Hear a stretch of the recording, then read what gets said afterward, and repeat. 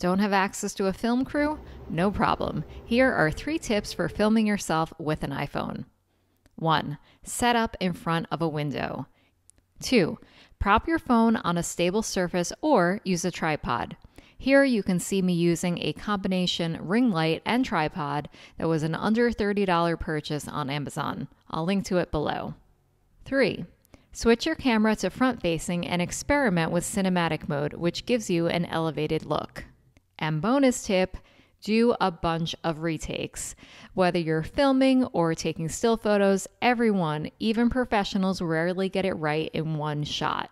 Start over as many times as you need and choose the version that makes you feel your best.